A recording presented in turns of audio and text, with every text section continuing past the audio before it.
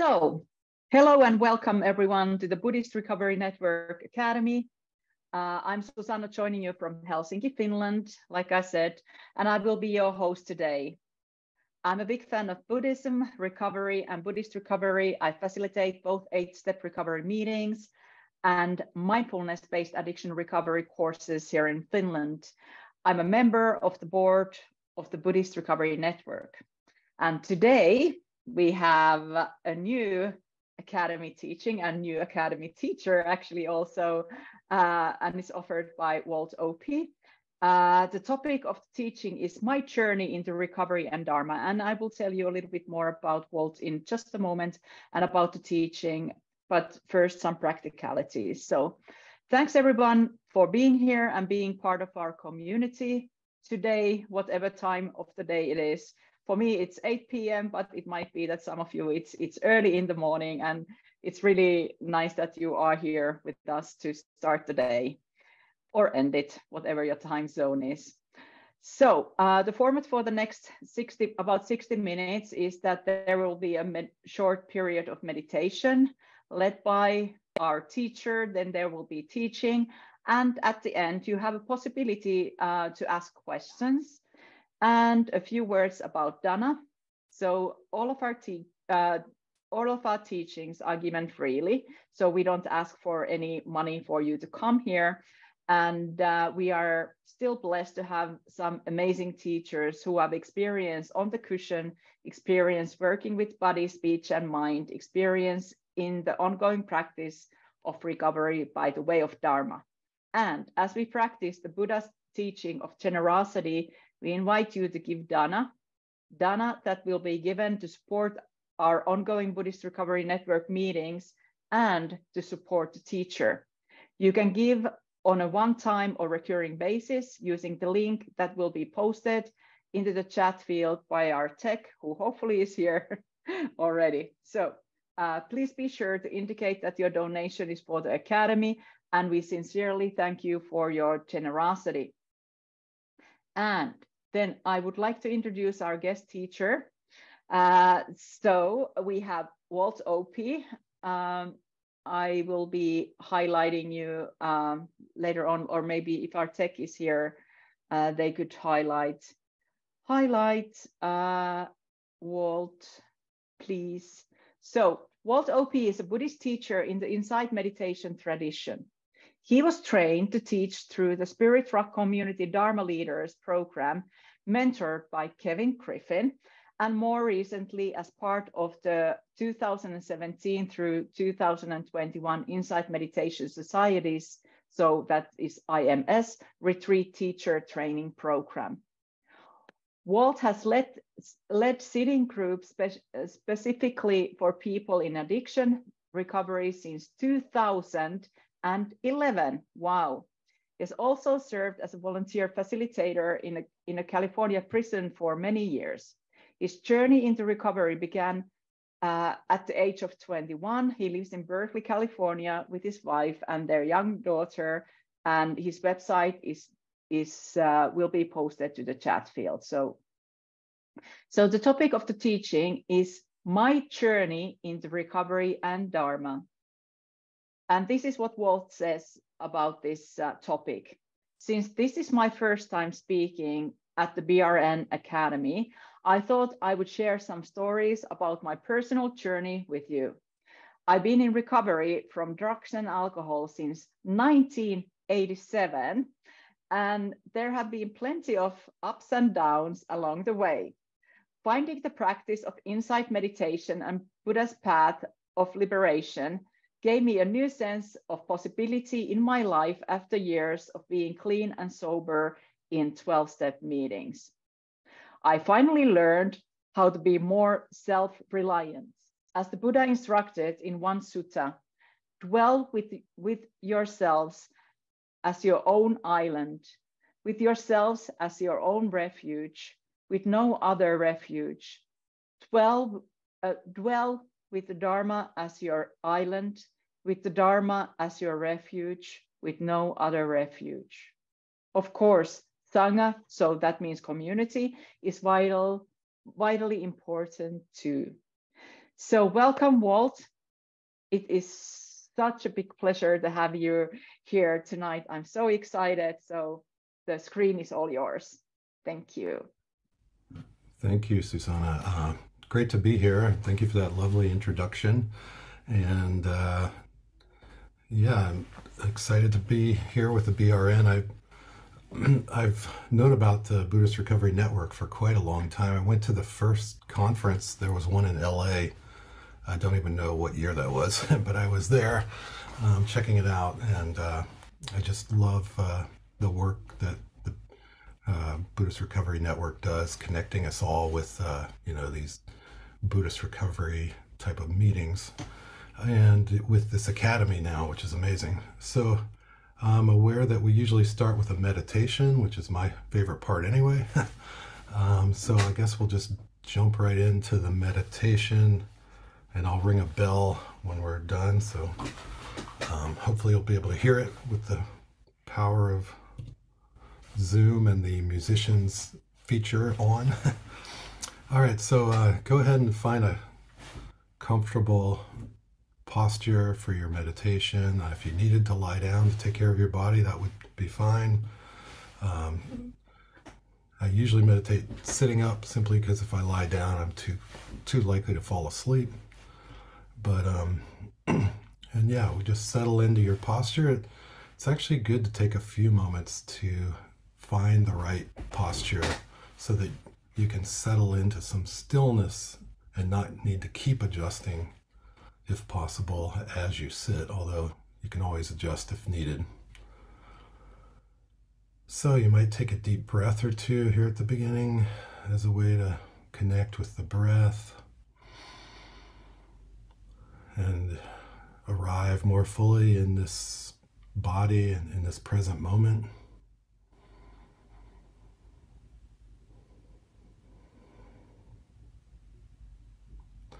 And just notice there is this body sitting here or lying down. You might feel the contact with the chair or cushion, or you might feel the hands or the feet. It's a real invitation to just drop down into our bodies. Often we're kind of in the control tower, imaginary control tower up in our heads. A little more than needed, you might say. So we're establishing mindfulness by dropping our awareness down into the body, anchoring in the body.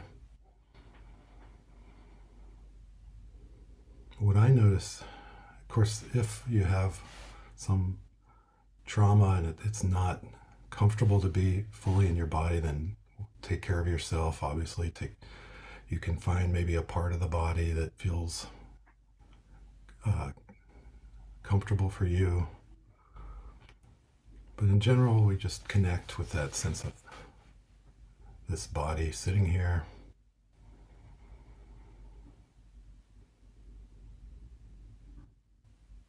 And then I like to use the breath as an anchor for my meditation. Um, breathing in, I know I'm breathing in. Breathing out, I know I'm breathing out we can keep it pretty simple. If and if you have a practice that you prefer, obviously, please work with your own practice. These are just uh, some offerings in case they're useful.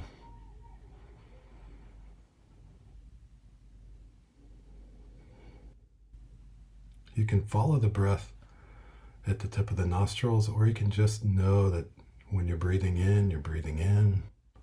When you're breathing out, you're breathing out.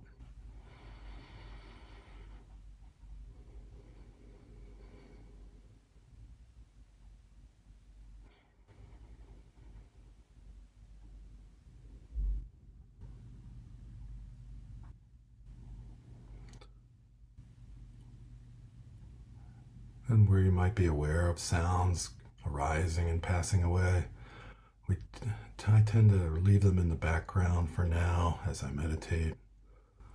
Stay more present with the breath, the sense of the body sitting here.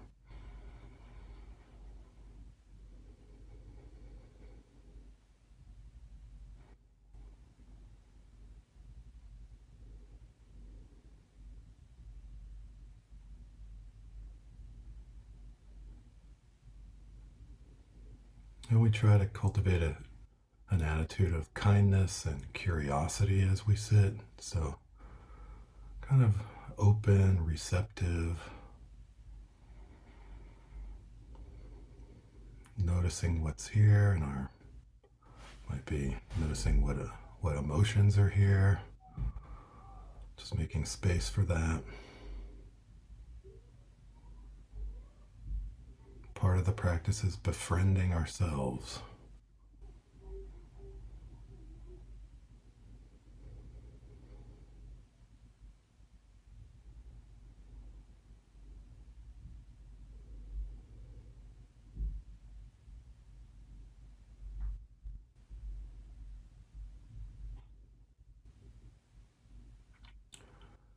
course, we know we may notice that the mind has a mind of its own, as we say. So we try to just have some patience with our busy mind. I'll give it a, the space to begin to settle, not trying to stop thinking in any way.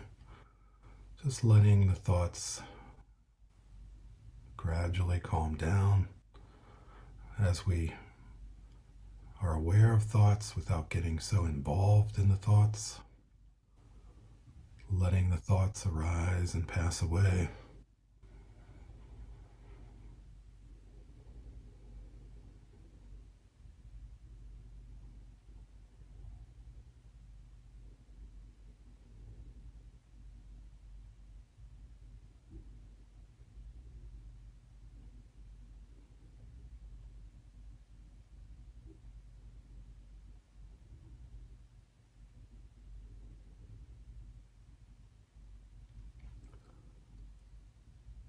And I do have a trick that I like to use if my mind's really busy, which is to do a short gratitude list.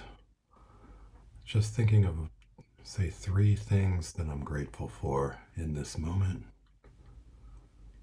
So it can be very simple. I'm grateful for the Buddhist Recovery Network for giving us this chance to gather together in community on Zoom. I'm grateful for my daughter who's not banging on the door trying to get into the office right now. and I'm grateful to be clean and sober today.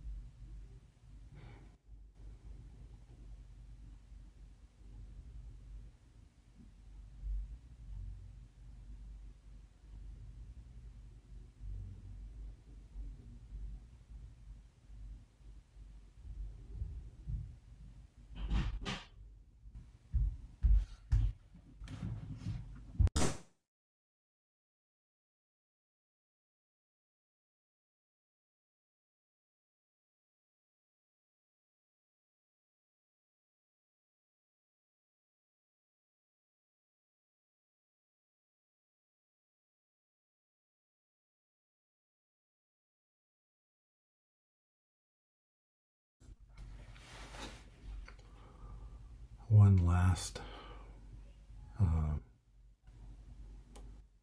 suggestion is to look for what one of my teachers calls the subtle joy of being in the present moment. So when we're we're not lost in a story or a plan, and we can really drop into this felt sense of the body sitting here, and we're present with the breath we can start to connect with a, a subtle sense of joy of just being here in this present moment in an undistracted way. Ah, and it can be a little bit of an awe moment.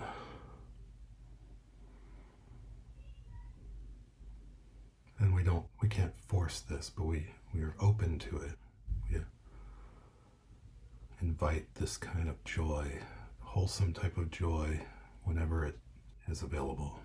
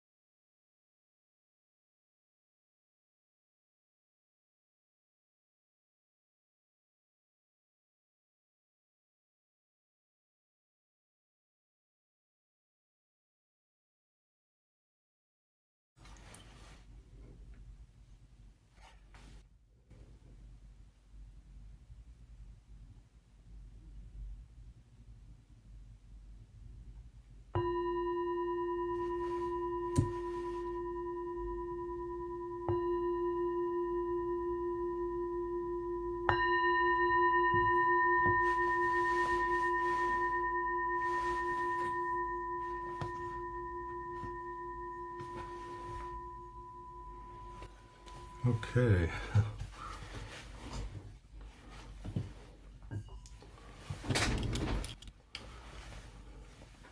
So when you're ready, you can come back to the Zoom room, so to speak. that ends the meditation. But of course, you could also continue to meditate as you listen to the talk if you wish. You, one of my teachers would always say, keep 80% of your attention on your self as you listen to me because you're still going to be able to hear, right? Even if you're practicing. so I don't always do that, but you could try that. Um, and as Susanna said, and hopefully you can hear me okay, I got my volume up pretty high. And I'll try to speak up. Um, so I thought I would share a little bit about my journey in recovery and Buddhism, just uh, seemed like a good place to start. and uh, hopefully it's not too self-indulgent or something. But I um, just thought it might be a, a way to approach today's talk. And I am trying to work on a memoir about that. So uh, you're helping me by allowing me to talk about this. Um, so I grew up in a small town in Virginia not a lot of Buddhism there, so we we went to church every Sunday, that kind of thing. But um, and my parents were big social drinkers, and so were my grandparents. It seemed like a big part of the culture. Um, and so, for whatever reason, I ended up, I began my drinking career and smoking weed at around age 11. Um, and I'm still figuring out how it got to that, but um, I'm really in, you know, one of my passions is reading about modern neuroscience and addiction and things like that. So um, I love different books. Uh, one book I'm reading right now is Gabor Mate's The Myth of Normal. He talks about, um, he's a Canadian doctor. He talks about um, addiction in a very compassionate way, and he talks about how that it, it often comes out of, you know, some kind of pain, especially childhood trauma. Could be big, big T trauma or little t trauma, they say. Um, so it's not always that obvious what this is coming out of, and there may be some genetic component. I did find out that on my mother's side there was a lot of alcoholism that was not that was kind of hidden carefully. Um, so who knows? But um, but I do think that there was something going on that made me, uh, you know, helped me find drugs and alcohol at a very early age, and um, part of it was the first time I did it, there was a big thrill, a big rush. Uh, you might call it a dopamine rush. Another book that I really like right now is Dopamine, Dopamine Nation by Anna Lembke, which is also about addiction. So um, these are informing my current understanding of, of addiction. I just like to always be learning. And uh, I think the Buddha encouraged us to do this as well. He always said, don't just take my word for it, but check out all my teachings for yourself, see if they work for you. That's one of the approaches about Buddhism that really attracted me early on. This kind of um, that kind of attitude of don't just take my word for it, but see if it works for you. Um, but uh, Gabor Mate in The Myth of Normal says addictions represent in their onset the defenses of an organism against suffering it does not know how to endure. In other words, we're looking at a natural response to unnatural circumstances, an attempt to soothe the pain of injuries occurred in childhood and stresses sustained in adulthood. And so, again, take take that for you can try that on and see if that works for you. But I find that to be very interesting to um, look at for myself. So, um, my childhood was pretty normal, though, I have to say. I had two parents, I had a younger brother and me. We lived in a brick house. um, you know, everything was fairly normal on the outside, but um, like I said, I started using pretty early, and then I started blacking out drinking by the age of 14. Um, so that was kind of how things started going pretty quickly. Um, it just basically had that inability to stop once I started using. And uh, so that kind of went on for my teen years. And uh, I'm not going to go into a huge long drunkalogue, but I just want to give you a quick sense of that. Um, and uh, it really just became kind of what I was interested in, you know, partying on the weekends in particular. Um, and then, uh, but what this brought was a lot of conflict in my house with me and my parents. So um, they didn't know how to deal with me, especially because they kept catching me with marijuana, and they they didn't. I later found out my mom told me recently that they just really were completely baffled. This was in the what 70s, and it just wasn't something they knew how. They didn't expect their kids to show up with pot at such an early age, and they didn't really know what to do about it. So then I just was playing cat and mouse with my parents for many, what seemed like quite a few years there. Um, and then I got grounded a lot. So I got caught drinking in public with some friends, and I got grounded over that. The police caught me.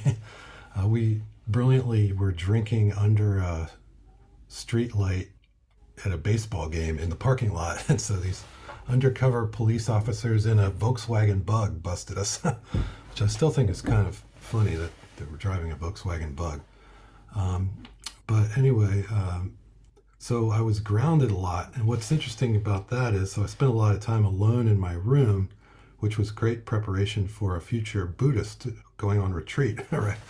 And uh, I was reading books like The Dharma Bums by Jack Kerouac. So there was some, there was some Buddhist interest early on. And I also, uh, some at some point, I decided that meditation seemed very appealing, and I had heard of TM, uh, Transcendental Meditation, and somehow I got a brochure with a picture of Maharishi Mahesh Yogi on it. who was also the teacher for the Beatles, which I think had some effect here. Um, but anyway, I um, made up my own mantra because I knew you had to have a mantra, and I didn't have a teacher.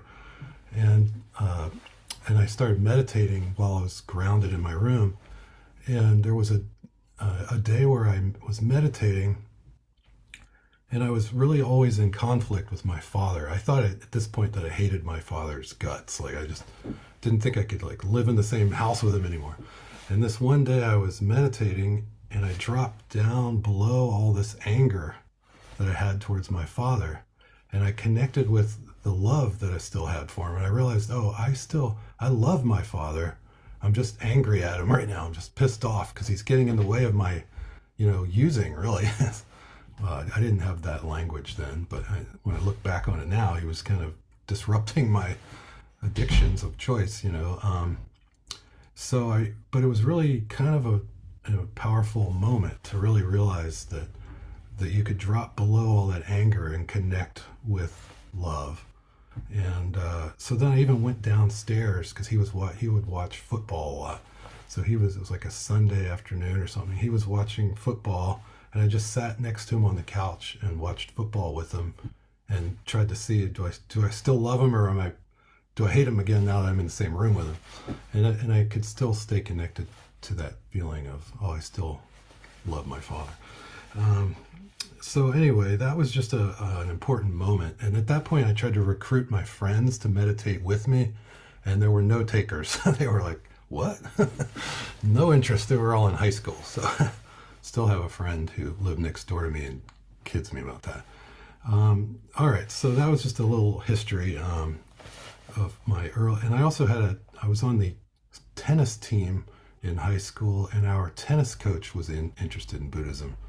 So he did also instill some uh, interest in me. Um, and one thing that happened was, uh, we I should say we were the stoner tennis team. So everybody, our uh, our shirts were the uh, Boast. There was a company called Boast from Canada, I believe, and they had the Canadian maple leaf was the symbol, but it looked like a pot plant. So we all thought we were the coolest tennis team ever because we had what we thought was like a pot plant emblem on our. Anyway, you get the idea. so um, there was a sort of a mixed thing about the whole tennis team. but on my uh, senior, the year before, uh, sorry, the night before my senior year of playing tennis, which I was excited about, um, I went skiing and while uh, and I broke my thumb. So my whole tennis team, my whole tennis uh, season was wiped out because I broke my right thumb when I was right-handed and I couldn't play. I had a cast for six weeks or something, so I couldn't play um, tennis anymore. And my coach uh, gave me the Alan Watts book, The Wisdom of Insecurity, um, which is Buddhist philosoph- philosophy, um, and it really became like a mantra for me. I was like, how could there be wisdom and insecurity? What does this mean? I'm still not sure I totally understand why I used the word insecurity, but I did I've eventually, I would call it the wisdom of understanding impermanence, right? Anything can happen anytime. Uh, Joseph Goldstein, one of my teachers, says that a lot, and I, it's been a very helpful mantra to me. Anything can happen anytime because we just don't know. We don't know what's going to happen today. We think we do. and it, it might be relatively predictable, but that don't know mind can be very helpful to cultivate because we really don't know what today or tomorrow will bring. And uh, that also helps so that then I'm a little bit more prepared if something unexpected happens and I don't necessarily have to like run back to drugs and alcohol to cope with it because I'm like uh, like uh, Susanna read in my um, uh, that quote from the Buddha where he says, "Be a refuge unto yourselves."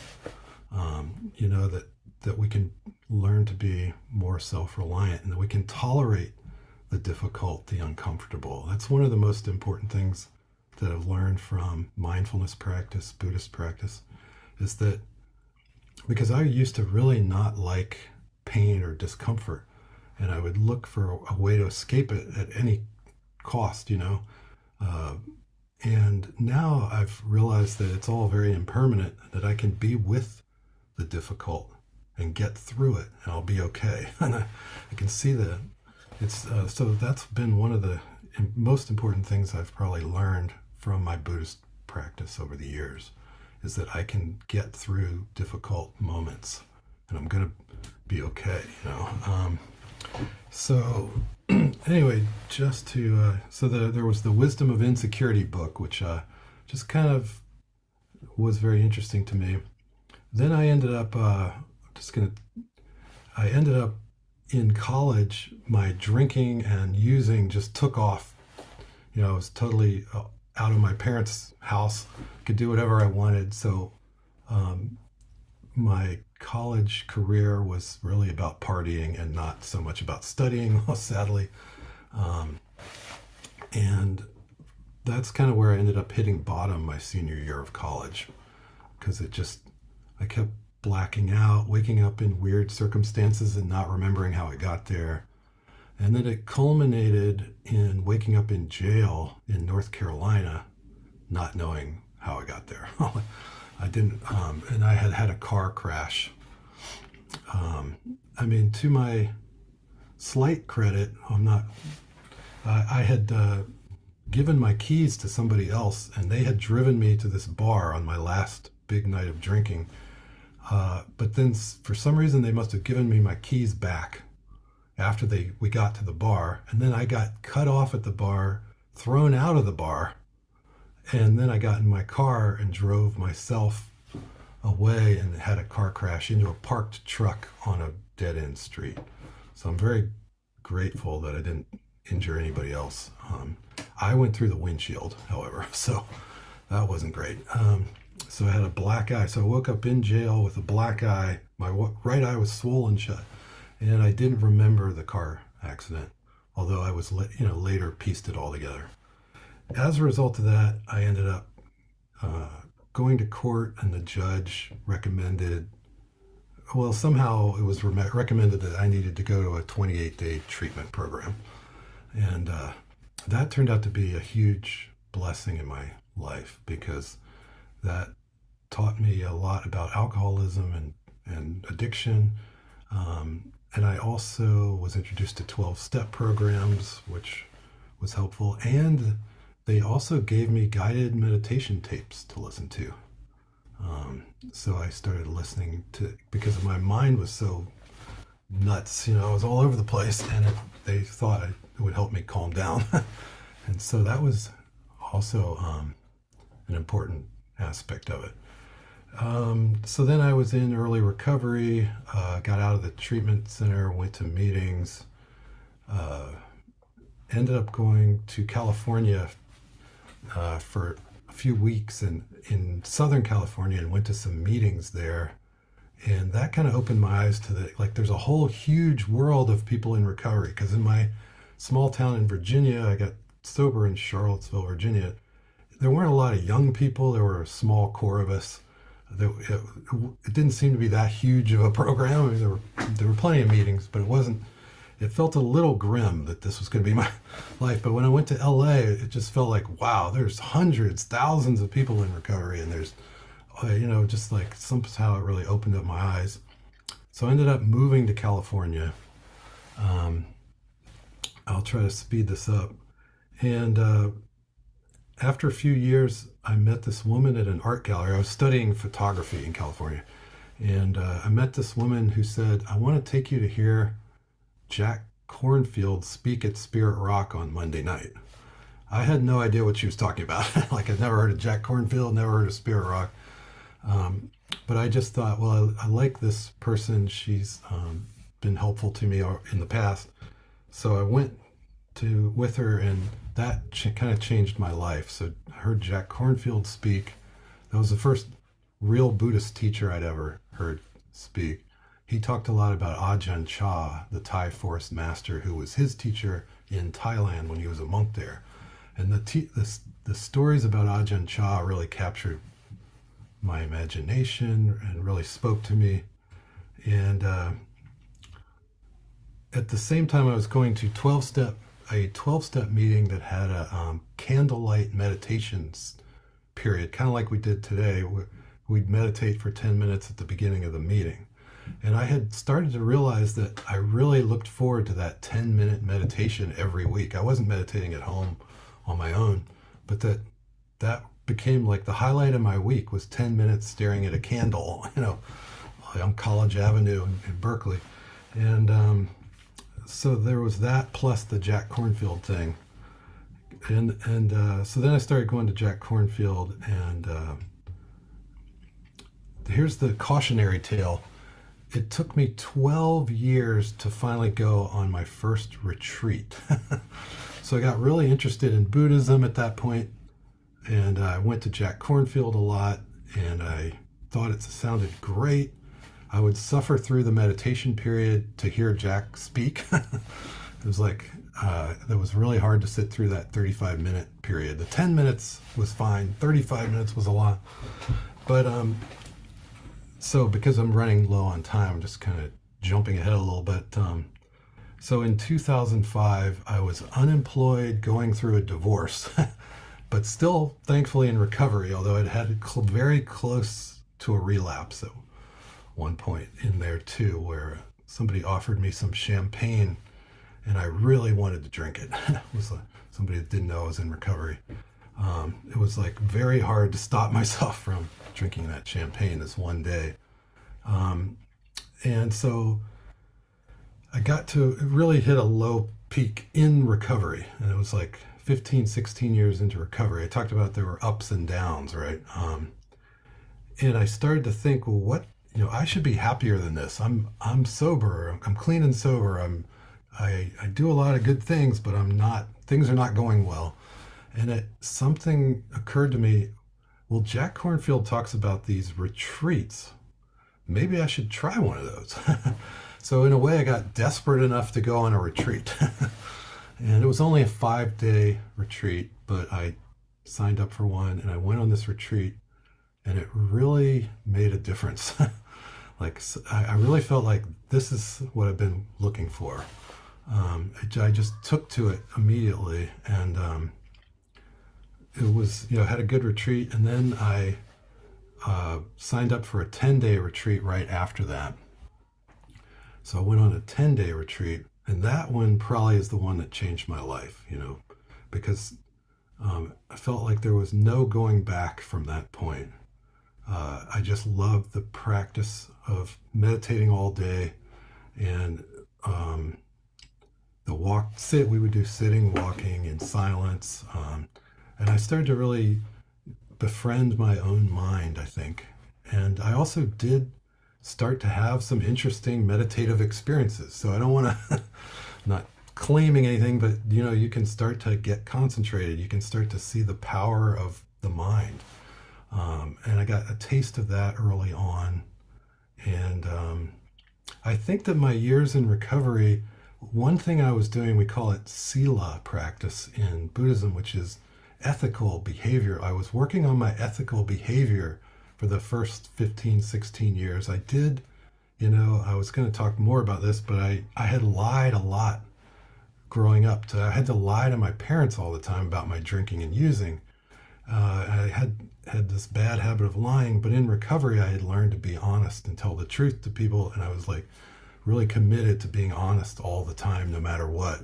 And that was a powerful practice for me. Um, and uh, so I learned a lot in those first 15, 16 years.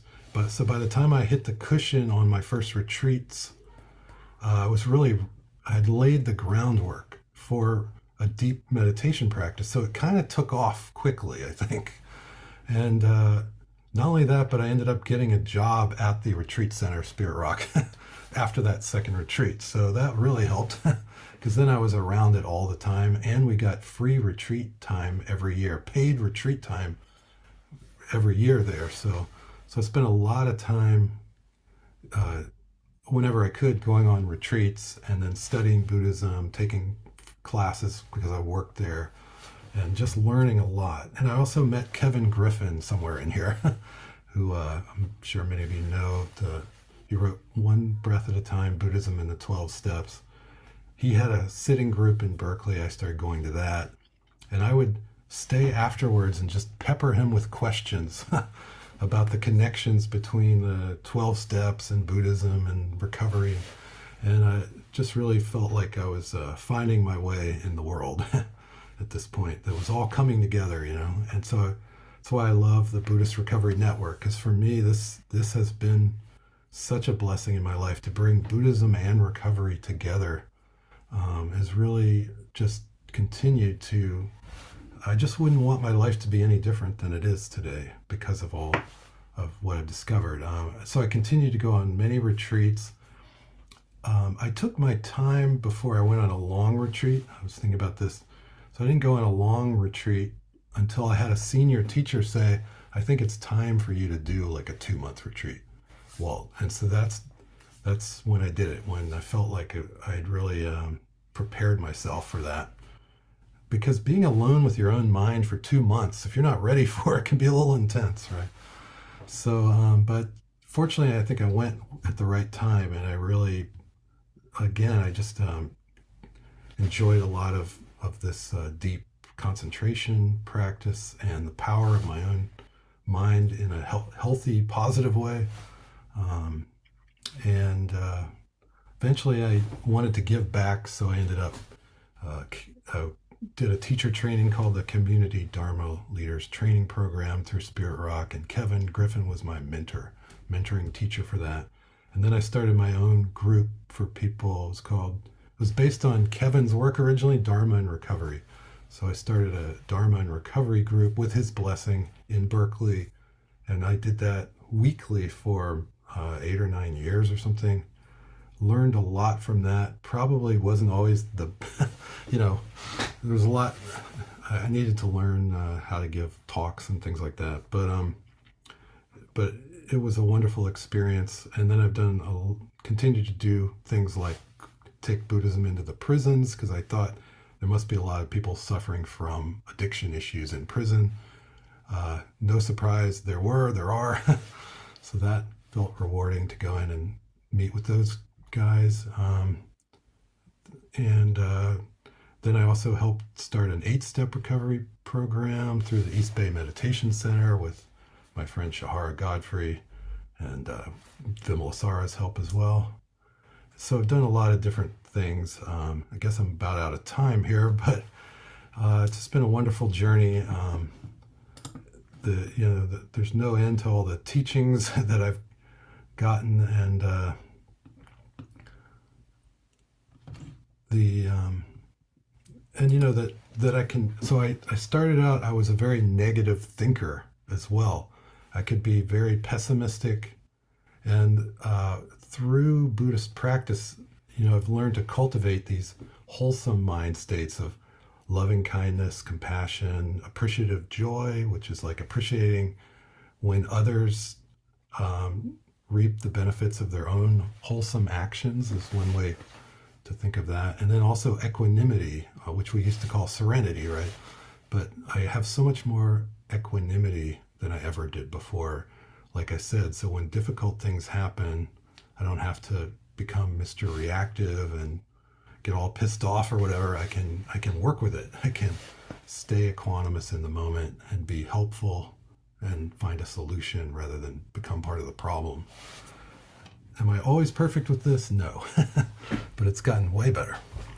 All right. Well, thank you for listening. I, I, there's much more that could be said, but I think we're out of time. Uh, but I did want to have a few minutes to hear from you all. Um, one of my favorite things is actually question and response um, to hear what's on your hmm. mind and then try to respond. mm. Thank you, Walt, and thank for your, you know, uh, very very clear sharing and uh, you you really i can i can sense the depth of uh, recovery that you have the depth of uh, experience that you have very meaningful what you were sharing with us uh, tonight. And the good thing is that you know you can come back and you can continue from the place where you left off you know next year. So uh, yes. So now it's time for the q&a and um,